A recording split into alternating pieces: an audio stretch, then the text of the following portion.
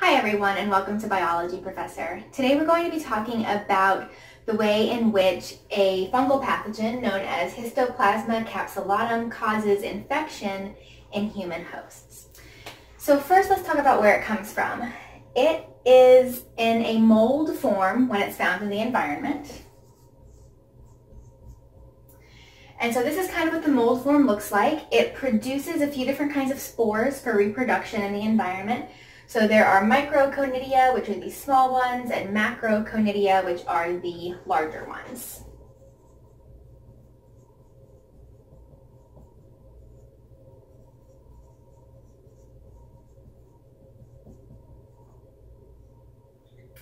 And in particular, it's found in soil that has been contaminated by droppings from birds and bats.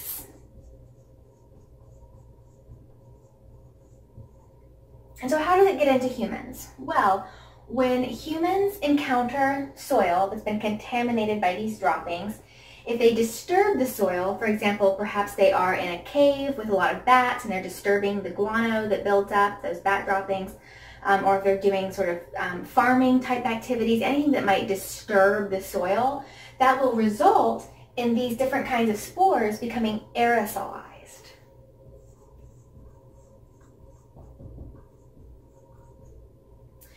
And then they can actually be inhaled by the human who disturbed the soil.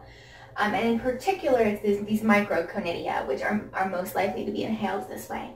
So they get inhaled, they enter the human body into the lungs, um, and there's not actually any reproduction of this fungus inside the human body, usually.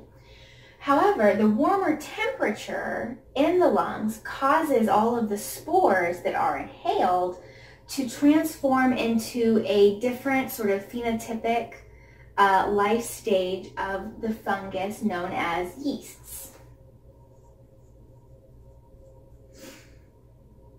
Um, so into yeast or budding yeast cells, so no longer this mold form, but this sort of unicellular yeast form instead and the yeasts then get phagocytosed. Now, during this initial um, sort of period of infection, there are some symptoms that are similar to flu or tuberculosis, sort of serious respiratory type uh, symptoms. Now, phagocytosis is when cells from the immune system engulf the yeast cells in order to degrade them and get rid of them. Unfortunately, it tends to not work out so well. These phagocytic cells can't really handle the yeast so much, um, and they end up, the yeast cells end up traveling through phagocytes um, throughout the entire body. So it becomes very disseminated through the body, and they're traveling via the bloodstream. And in particular, they're traveling in the blood to lymph nodes and to the rest of the body. And what ends up happening is we get later symptoms of inflammation of the entire chest cavity from this infection, as well as enlargement of the spleen and swelling of the lymph nodes. And this is because these phagocytes are kind of clogging up the lymph nodes, causing them to swell, um, being filtered out by the spleen, which really can't um, get rid of them very well, and that causes the spleen to be quite enlarged.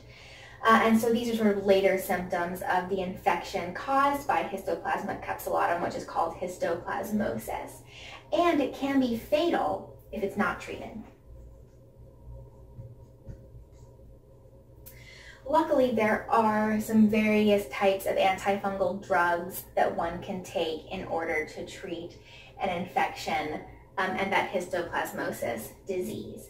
And so this is how uh, Histoplasma capsulatum causes infection in human hosts. If you're interested in some other pathogen life cycles, see my playlist on pathogen life cycles.